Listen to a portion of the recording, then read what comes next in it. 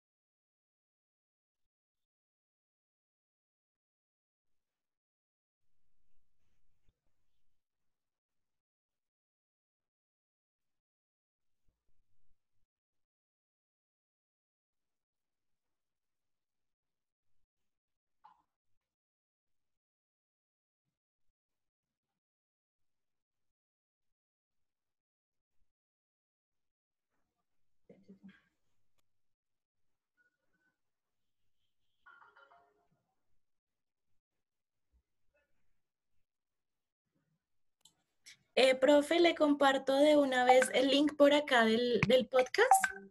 Eh, sí. ¿Tú no, ¿Tú no me lo enviaste al...? No, profe, ¿se acuerda que esta mañana le escribí que estaba colapsada porque no Ay, sí, es cierto. Listo, dale, sí, porque ya se me acabaron los que habían enviado. Profe, el- yo, ta- yo se lo envié también. Pero me envió el de Madonna, ¿no? Ah, no, No, aquí está el el- podcast, no, sí, señor, tiene toda la razón.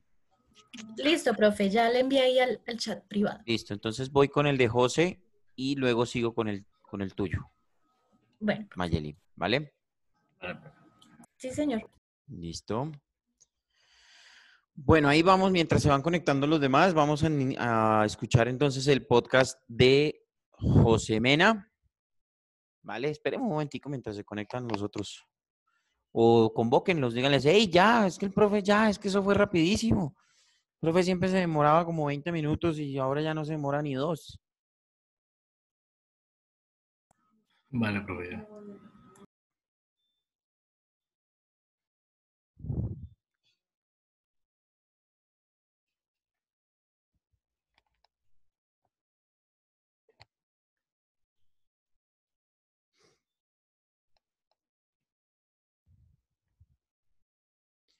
Entre amigos, copas. Sí, señor. Podemos escuchar el que dice parte 1. Sí, porque pues no vamos a escuchar la parte 2 de entrada. Porque ¿para qué, cierto? sí, o sea, mejor no. Profe, qué pena. Es el encierro. El encierro está Sí. causando un problema mental. Sí, sí, sí, no, créeme que. Y los estudiantes también. Ah, No ustedes, ustedes no, ustedes son, ustedes son chéveres. Uf, tengo unos que, Dios mío, unas bellezas. Pobre- Pobrecito, yo lo entiendo. Sí, no. ¿Esto qué le digo? Bueno.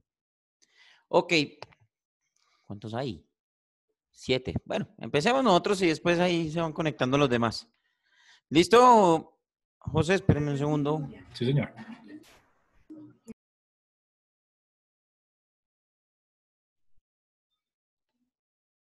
El antivirus. Ahí va. ¿15 minutos? 15 y medio, profe. no, pues voy. No, profe, en serio, no, no es por disculparme, sino que el, el tema que escogí eh, fue muy denso y no, es, no encontré mucha información como para alargarme hasta los 25. Antes los 15 y medio fueron, pues, pucha, José le Bueno, regalo los que me sobran a mi amigo. eso. Uy, pero por 10. supuesto, ¿cómo no? Deberían hacer un, Un mix ahí. por favor, el pulso del fútbol, no sé, alguna vaina. Bueno, vamos, voy a compartir entonces ya de una vez el podcast de José Mena. Escuchemos, por favor. Tente contra la COVID-19. El sistema inmune.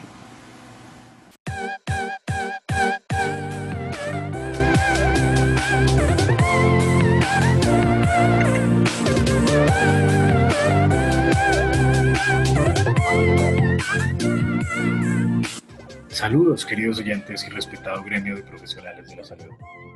Hoy tendremos un análisis del reciente estudio de la investigadora postdoctoral y profesora honoraria en Departamento de Medicina Preventiva, Salud Pública y Microbiología de la Universidad Autónoma de Madrid, la doctora Marina Bécares Palacios, y Elena Andrada Romero, investigadora postdoctoral del Centro Nacional de Investigaciones Oncológicas, CNIO. Bienvenidos.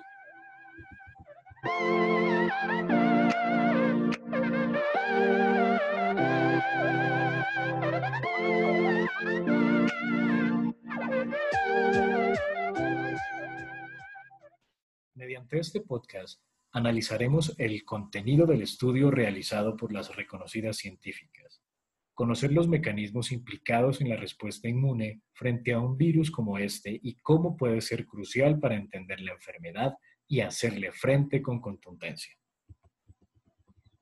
Más de 200.000 personas fallecidas, casi la mitad de la población mundial confinada. Consecuencias sociales y económicas nunca antes imaginadas. Y todo ello es causado por un microorganismo, el SARS-CoV-2, que solo mide 120 nanómetros. Está claro que en inmunología no hay rival pequeño. A pesar de su tamaño, el coronavirus es capaz de poner en jaque nuestro sistema inmune y nuestro mundo. Aunque los datos disponibles son aún limitados, conocer los mecanismos implicados en la respuesta inmune frente a un virus como este puede ser crucial para entender la enfermedad y hacerle frente con contundencia. Nos enfrentamos a un hacker celular. El enfrentamiento entre el ser humano y el virus comienza cuando éste entra en nuestras células. Para ello, es necesario que la proteína S del virus se una a su receptor correspondiente en la superficie de la célula provocando la fusión del virus con la membrana celular. A partir de este momento, el virus toma el control del sistema operativo de la célula, produciendo copias del genoma viral como una fotocopiadora fuera de control. Estas copias del genoma son ensambladas en paquetitos, formando nuevas partículas virales, que enseguida son liberadas al exterior de la célula y comienzan a infectar las células vecinas. La capacidad de replicación del virus es tan alta que cada célula infectada puede producir decenas de miles de nuevas partículas. En experimentos realizados en ratones infectados con el coronavirus SARS surgido en 2002, no se suele medir en humanos dado que se necesitaría obtener biopsias de pulmón. Se determinó que se pueden alcanzar hasta 100 millones de partículas virales por gramo de tejido. Multiplicando esta cifra por el peso medio del pulmón, podríamos llegar a tener más de 100 mil millones de partículas virales en cada pulmón humano. El sistema inmune innato de los seres humanos es un software antivirus básico. El ataque de este hacker es combatido por nuestro sistema inmune, que no tiene nada que envidiarle a los mejores sistemas de seguridad informática. Su funcionamiento se puede comparar con el de un software complejo formado por células y moléculas. Se clasifica en dos tipos, sistema inmune innato y adaptativo. El primero es el encargado de frenar el ataque del virus de forma inespecífica, es decir, detecta los microorganismos sospechosos y los mantiene a raya hasta que llega el informático experto. Este es el sistema inmune adaptativo. Pero, ¿cómo los mantiene a raya? Los virus son patógenos intracelulares, lo que significa que se reproducen y ocultan dentro de nuestras células. Esto dificulta su detección por el sistema inmune. Cuando el virus nos infecta, se producen unas moléculas denominadas interferones, que desencadenan la activación de unas células llamadas natural killers, las NK. Estas asesinas matan a las células infectadas, interrumpiendo la replicación vírica. A continuación, entra en juego otra célula del sistema inmune innato, los macrófagos y las células dendríticas, que se comen los restos de células infectadas y virus.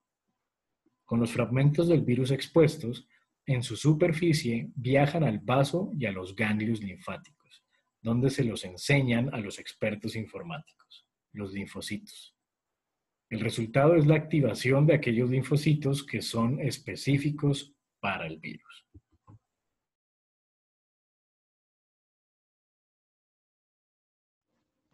Opiniones, muchachos.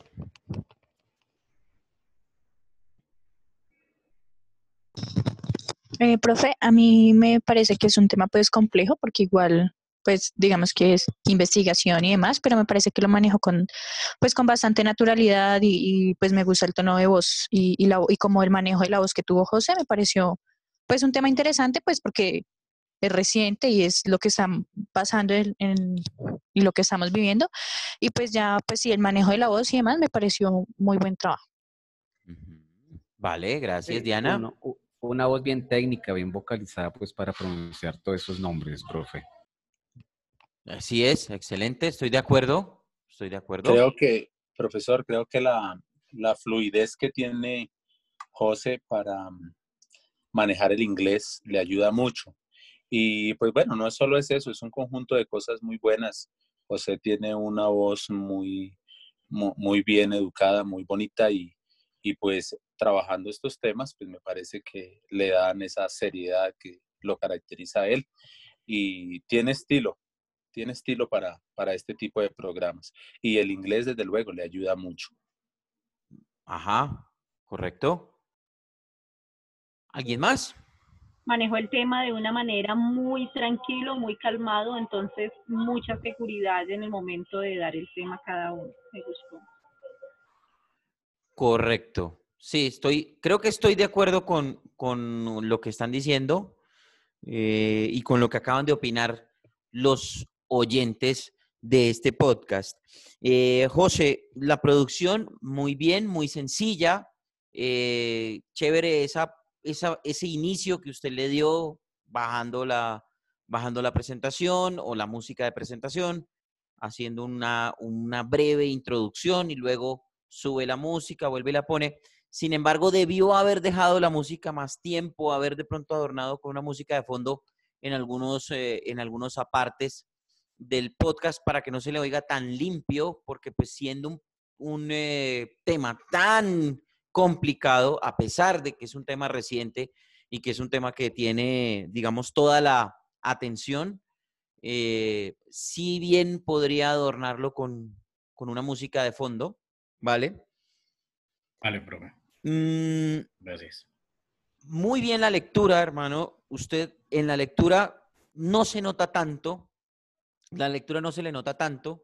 Y sobre todo lo que decía eh, Ramiro en el tema de la pronunciación del inglés o del idioma extranjero y de las, de las células y los linfocitos y el hacker y no sé qué y esto y lo otro. En eso creo que destaca mucho también esa vocalización que usted le imprime, aparte de todo la tranquilidad con la que está leyendo, eso le imprime muchísima naturalidad a la lectura casi que no se nota tanto, sí se, sí se nota que está leyendo, pero es, no se nota que, lo es, que está rigurosamente leyendo, sino que también está interpretando la lectura. ¿De acuerdo? Bien, Eh, muchas gracias. Se lo he dicho varias veces que usted tiene una muy buena voz, una gran voz, y aparte de todo, la, la está manejando correctamente, pues para este tipo de cosas. Sabiendo que es un programa tan informativo, que es un programa tan eh, técnico en algunas, en algunas cosas, creo que lo saca perfectamente, José. Bien. Muchísimas gracias, profe, y muchas gracias, compañeros, a todos. Bueno. Con gusto, joven. Vamos a escuchar ahora el podcast de Mayeli Castellanos, la parte 1, porque pues sería, Sí, porque, o sea, por favor. sería ilógico poner la parte 2 de Pero entrada. fue un chascarrillo, profe. Ujú. Causa el encierro. Yo sé, yo sé. Bueno, A todos nos pasa. sí, a esta altura ya estamos, bueno, entre amigos y copas, está un espacio, o sea, ah, nos estás obligando a suscribirnos para poder escucharlo. Ay, más, sí, claro, necesito seguidores. Ah. Bueno, muy bien. Entonces vamos a suscribir de una vez. Ay, pero me toca poner el email y dar, ay, lo es esto.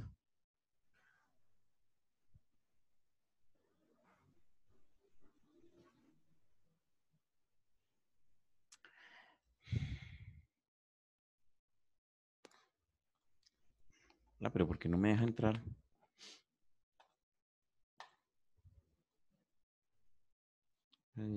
Para confirmar tu suscripción. Uy, esto se está complicando.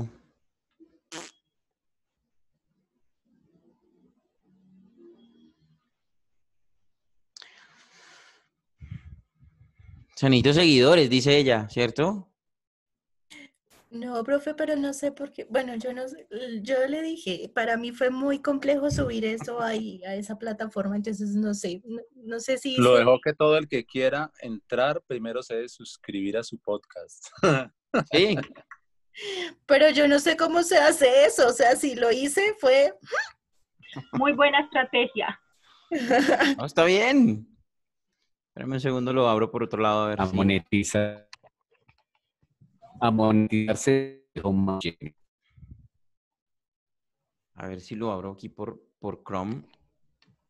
Que por ahí es por donde tengo mi cuenta.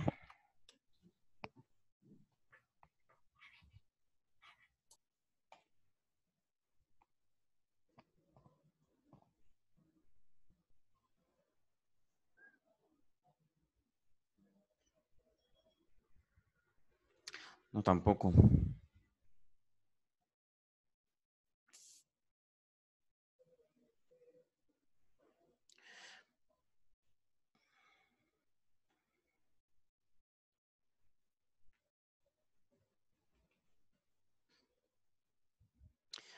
No, Mayeli, creo que no nos va a permitir oírlo por ahora.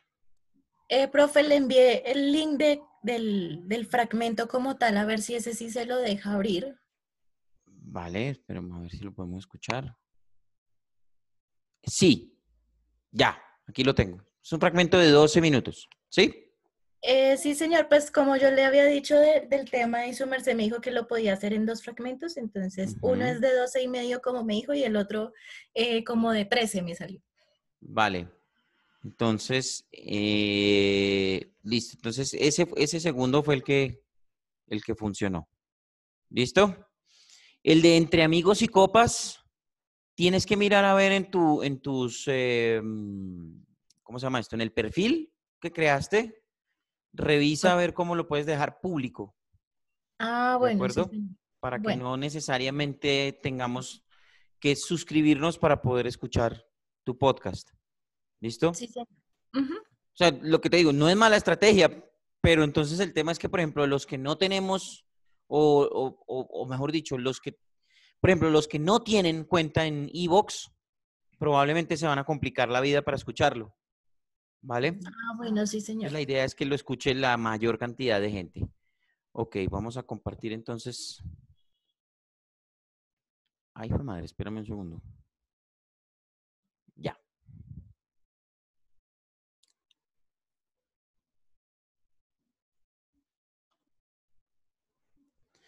Listo, escuchemos por favor el podcast de Mayeli Castellanos.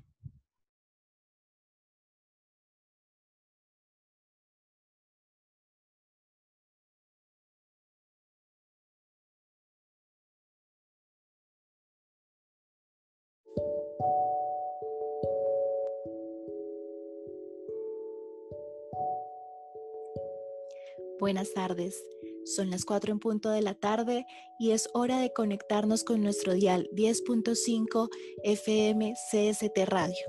Nos acompaña como siempre su voz amiga Mayeli Castellanos en un especial preparado con mucho cariño para ustedes. Hoy no tendremos un artista musical, sin embargo, traemos a todo un artista de la literatura, a un hombre de letras, a un hombre de palabras. Acompáñenme a conocer quién es el invitado de hoy.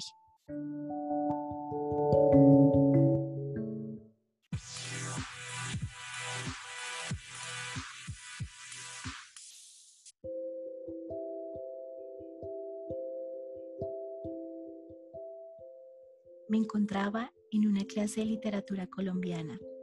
Un salón pequeño y una noche fría acompañaban el ambiente cuando de repente el profesor, como si sacara de su sombrero mágico el lindo y tierno conejo, extrajo de su maletín de cuero un libro, su cubierta amarillo quemado en la parte superior y al final de este, en un degradé profundo de color gris, una imagen en él.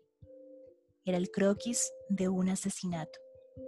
Llena de expectativa por saber de qué se trataba, presté atención muy atentamente y de los labios del profesor salían palabras saltarinas que nos invitaban a sumergirnos en el mundo del realismo degradado, que se plasmaba en la obra Cobro de Sangre, la número 5 en su historia de 35 novelas publicadas hasta el día de hoy por el escritor Mario Mendoza Zambrano. Sí, Mario Mendoza es nuestro invitado de hoy. Vamos a conocer de él no solo su vida, sino sus obras, su pensamiento, su rebeldía y todo ese material acumulado por muchos años de vivencias, de experiencias, de viajes y muchas aventuras. Escritor de 56 años de edad que como muchos en este país salieron adelante gracias al empuje de sus padres pertenecientes a la clase media. Mario vivió hasta los 18 años en su casa paterna, estudió en el Colegio Rufus, ubicado en Cota, y decidió emprender sus estudios universitarios en filosofía y letras, y esto causó la decepción de su padre, razón por la cual, con la rebeldía que lo caracteriza, tomó sus maletas y guardando en su mesa de noche las comodidades, emprendió la conquista a un nuevo lugar, el centro de la ciudad, a un humilde inquilinato donde conductores, empleadas y trabajadoras de la noche se convirtieron en sus nuevos compañeros de vida. Pero era esa desobediencia la que al final le permitiría contar con el apoyo de su padre para financiar sus estudios. Se licenció en literatura y desde allí compartió sus relatos y magia en las aulas de clase, tal como lo hizo Samuel Sotomayor, protagonista de Cobro de Sangre y entre inquilinatos y pensiones en el centro y sur de la ciudad, y con mochila al hombro, capturó a esa Bogotá ajena, a esa Bogotá que se oculta en la penumbra de la noche, a esa Bogotá que se viste de gala en el día y en la noche muestra su otra cara.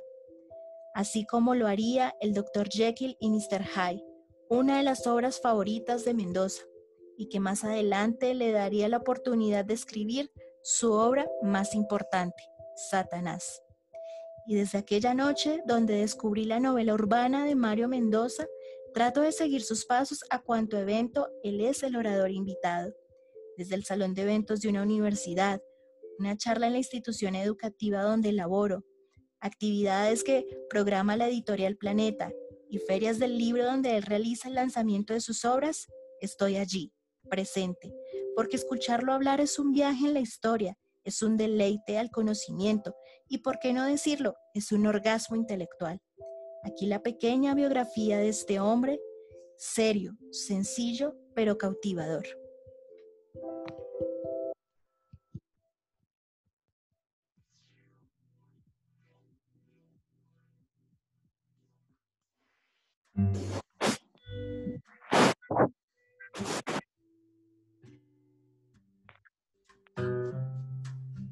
Ahora quiero compartir con ustedes la opinión de Ricardo Silva Romero, escritor y columnista quien reseñó a Mendoza con estas palabras en la publicación de la revista Credencial en el año 2013.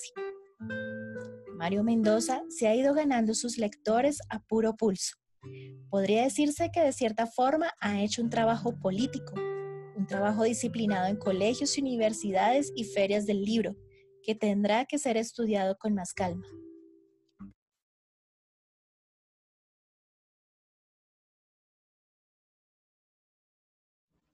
Bueno, los escucho, muchachos.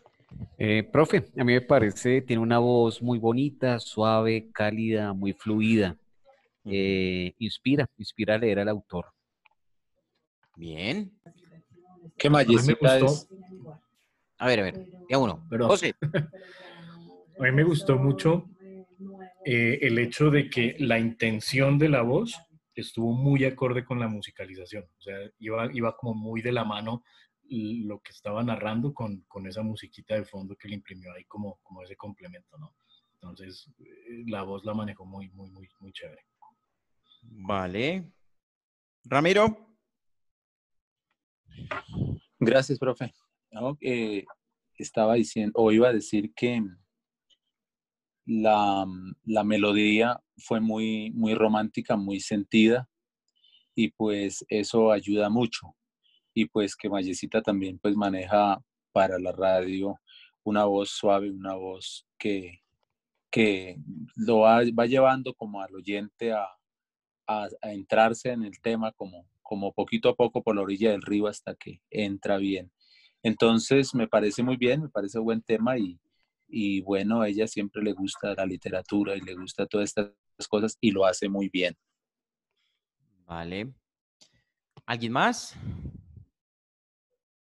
Eh, profe, me gustó el manejo del, pues digamos que el conocimiento, el manejo del tema de Maye y el manejo de la voz, creo que fue muy bueno y me pareció, pues es un buen tema, es interesante.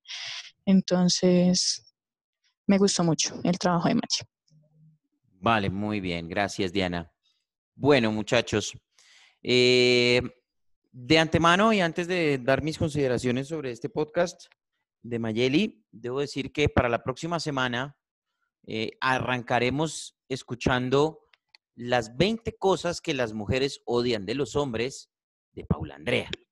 Paule. Upa, upa. Es un tema completamente todo lo opuesto a lo que mis compañeros hicieron hoy. Súper, de, eso se, de eso se Ah, trata. Nos van a dar palo ese día. No, no, no.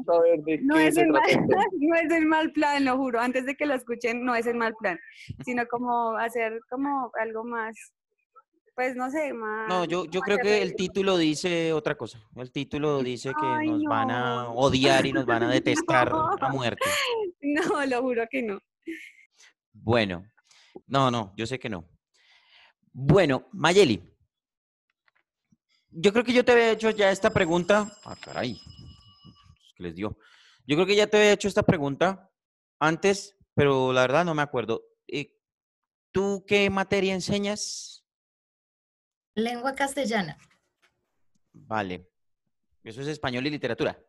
Sí, señor. Ah, bueno, sí, sí, es que yo en el colegio vi español y literatura.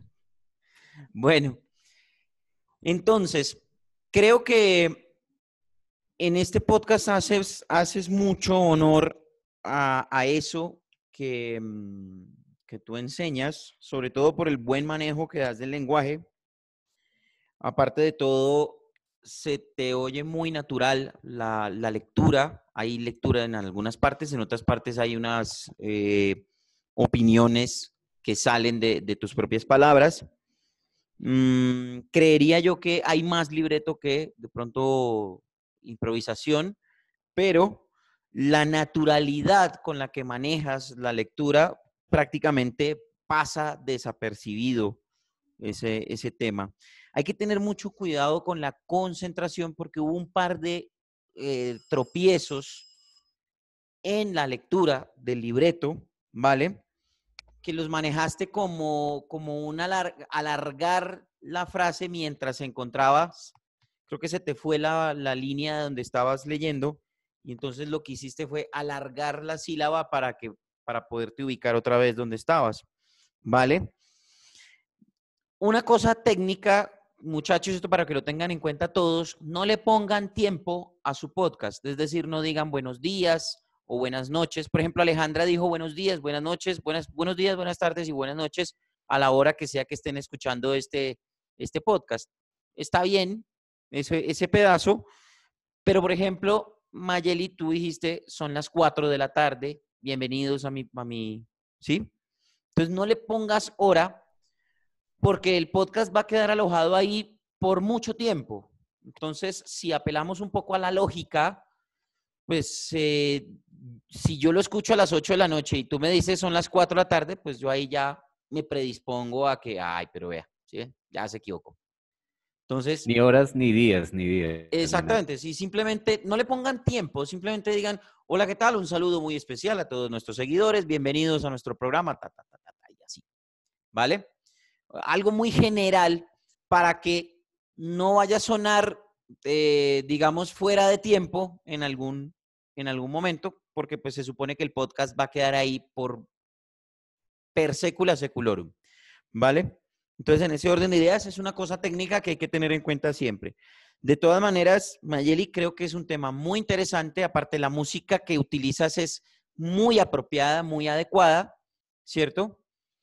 Y eh, me parece muy correcto el manejo que das del, del lenguaje y de lo que de lo que desarrollaste a la hora de describir el, el podcast. Vale, Mayeli, te felicito. Muy buen, muy buena pieza, muy buen producto. Muchas gracias, profe. Además, porque aunque sí habían partes que, que leí, obviamente, pero pues toda la construcción de la historia, pues la hice yo. No la copié de ningún lado porque de- es mi escritor favorito, así que lo conozco. Exactamente. Ah, bueno, ese es otro detalle, que, que lo conoces a la perfección. A- al amigo mm, Mario. Mario Mendoza. Sí, pero se me estaba olvidando, perdóname. Bueno, muchachos, entonces, eh, listo, 4 y 30, muchas gracias, muchas gracias por la asistencia. La próxima semana entonces arrancamos con el podcast de Paula y eh, que va a hablar sobre el odio irrestricto y recalcitrante a los hombres. Eh, entonces, Ay, no es así. no es Mejor así. dicho. entonces, muchachos, por favor, los hombres prepárense porque vamos a salir cabizbajos, aburridos. De eso. Total, Y total. las mujeres como las mujeres empoderadas, porque utilizaron esa palabra. Entonces, Las doncellas. entonces, eh, nada, muchachos, muchísimas gracias por la asistencia. Eh, pásenla bien, descansen, cuídense, por favor. Y nos encontramos la próxima semana ya con nuestra última clase de eh, sonidos radiales. ¿Listo? Muchas Juiciosos, gracias, profe. muchachos. Gracias. Bien. Gracias. Profe, muchachos, que estén bien. Gracias, Adiós. profe. Chao, muchachos. Chao.